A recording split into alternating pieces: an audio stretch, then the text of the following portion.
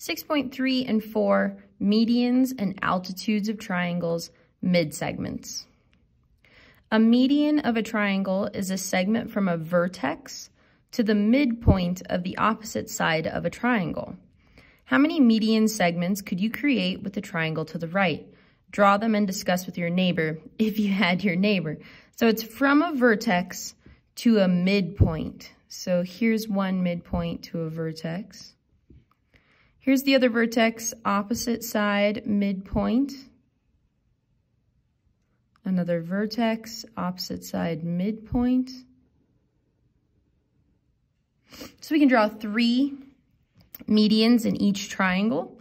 And when those um, meet at each other, that intersection has a name. It's called the centroid. C-E-N. Centroid.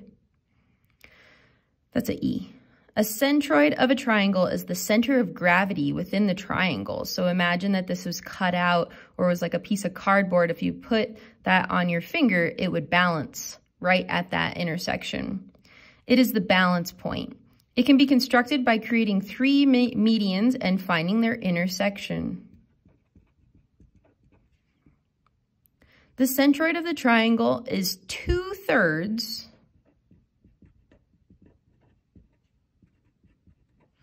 of the distance from each vertex to the midpoint of the opposite side. So if you can imagine, you're gonna take each of these segments and cut it into three equal pieces, starting with the shorter piece. So see, this is one third, and then if I cut it again, two thirds, three thirds. And you can do that in each direction of each midpoint, um, of each median, and it will create the centroid at the two thirds mark. See how it's two thirds down? One, two, and then the centroid. So uh, let's try one on. So example number one, RST and point Q is the centroid. And SQ is 8. So see how that's the longer bit of the median? Find QU and SW. So um, let's work on SW first because it's part of the it's part of the whole of QS or SQ, however you want to say it. So see how this is one third and now split it again and now that's two thirds.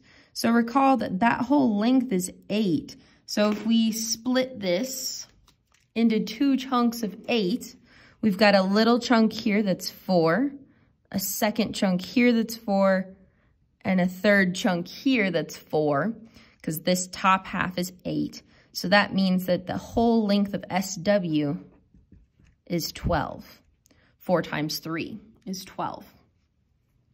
And then the other uh, length that they'd like us to find is QW, but we just found that. We wrote it on there. That's the smaller portion. That's the a one third is the length of 4. Find the coordinates of the centroid of the triangle JKL with vertices J at 2, 1, S at 5, 8, 3, 4, 5, 1, 2, 3, 4, 5, 6, 7, 8. And T at 8, 3.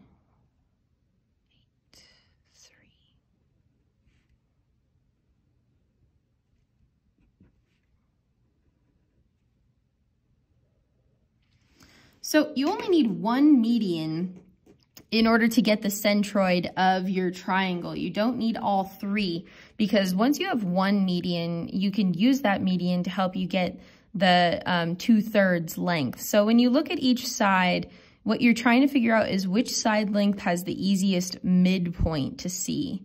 So on this side, oh man, that one's kind of tough, cuts through a lot of boxes. This one also uh, cuts through a lot of boxes.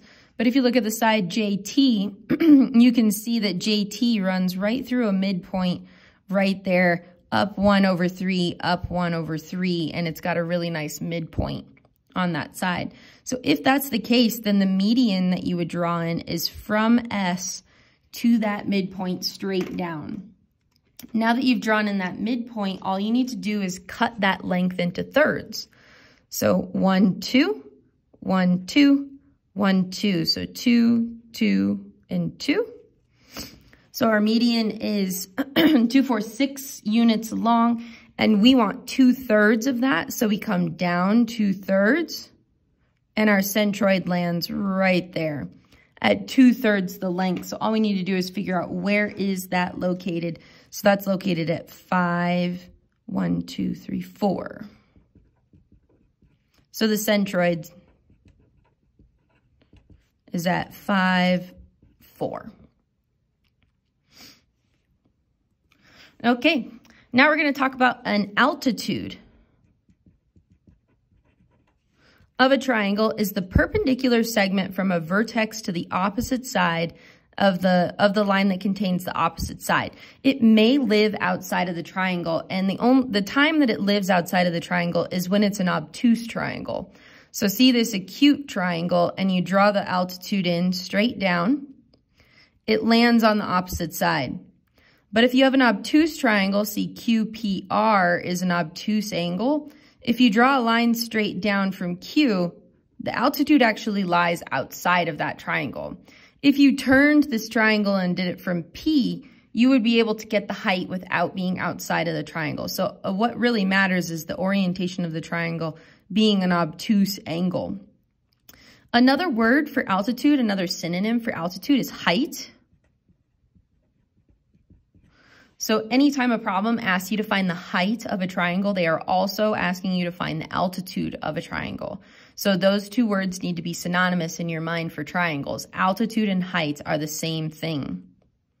Now, if you draw three altitudes, take a look at this picture here. If you draw three altitudes in a triangle, the intersection that it creates is not the center of gravity, but it does have a name. It's called an orthocenter. It's the intersection of three altitudes. Honestly, it doesn't really give you um, anything important, not like gravity or anything, but it does create an intersection in the middle of the triangle. So example three, find the area of each triangle. Recall that finding the area of triangles is one half the base times height. Or you could say base times height divided by 2 is another way to say that. So in this case, we've got 12 is the base and height or the altitude is 6. So area is 1 half 12 times 6. And you can punch that into a calculator all at once if you would like to. You can divide, you could do 12 times 6 and then divide by 2, whatever you would like to do, but you'll get 36 and this is millimeters and its area, so it's squared. Now compare these two triangles. Take a look at the next one. This one's got a base of 6 and a height of 12. So what do you think is going to be true about the areas of those two triangles? Well, let's find out. Area is 1 half 6 times 12. Well, look at that. They have the same area. So don't be fooled sometimes by area that um, the shapes look different, but they're actually the same the same area. So that's the main reason that you need altitude is for finding areas of triangles. You need the height in order to find the area of triangle. That's the important use for that guy. Okay, moving on to 3.4. 3.4 is all about what's called a mid-segment of a triangle. So here's our definition. A mid-segment of a triangle is a segment that connects the midpoints of two sides of the triangle. Every triangle has three mid-segments, which form the mid-segment triangle. So if you take a look, there's a middle, there's a middle, there's a middle. Connect those middles, and this inside triangle is called the mid-segment triangle. The mid-segments of ABC at the right are MP, MN, and NP, and the mid-segment triangle is MNP. So um, example number four, something that you need to note is that mid-segments create parallel lines. So here is our diagram. M is the midpoint of this side length. N is the midpoint of this side length. And they want us to prove that MN is parallel to JK. Oh, I'm sorry, JL. JL, this bottom one.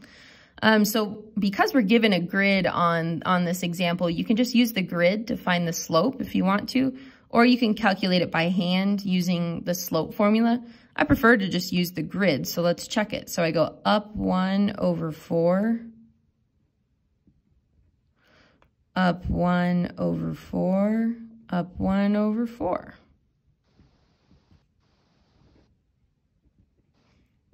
So they have the same slope, so they're parallel.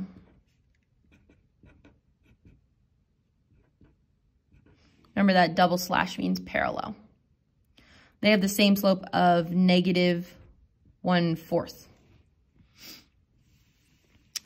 Another theorem for mid-segments, the segment that contains the midpoints is, of the two sides, is parallel. We just proved that to the third side.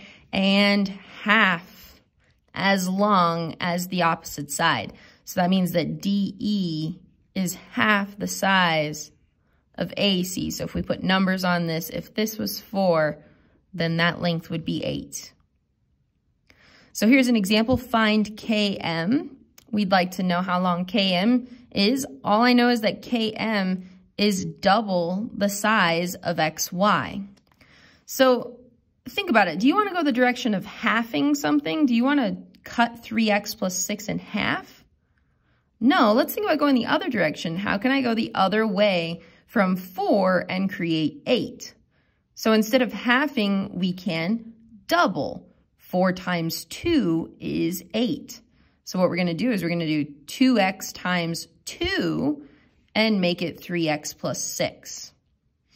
So we can do, um, so again, you could go two different ways. You could do 1 half, 3x plus 6 equals 2x, but I think doubling is nicer. So 2 times 2x equals 3x plus 6, because that's the one we want to make larger. So that's 4x equals 3x plus 6 minus 3x. So then that's x equals 6.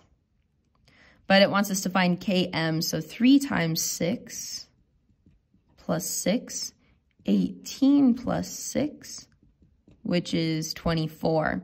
So let's check and make sure that the links make sense. So if this is 24 and I plug it into the shorter one, 2 times x is 12. So that matches 24 to 12. All right, last one, example six. Triangles are used for strengthening roof trusses. In the diagram, UV and VW are mid-segments of RST. Find UV and RS. So yes, go with your gut on these ones. If you feel like it's um, the smaller link, then double to get to the larger one, or if it's the larger one, half to get to the smaller one. So let's do uh, UV first. So see how this far side down here is 90 inches. UV is its mid segment. So when we go from 90 to UV, we cut 90 in half, which is 45. All right, so now we're going the other direction. It wants us to find VW. So um, oh, it's saying that VW is the mid-segment. We're supposed to find um, RS. So if this is 57, then we're going this direction, which means this is the smaller one, and we want to get to the longer one that's opposite, so we need to double. So 57 times 2, and RS is 114. Thank you.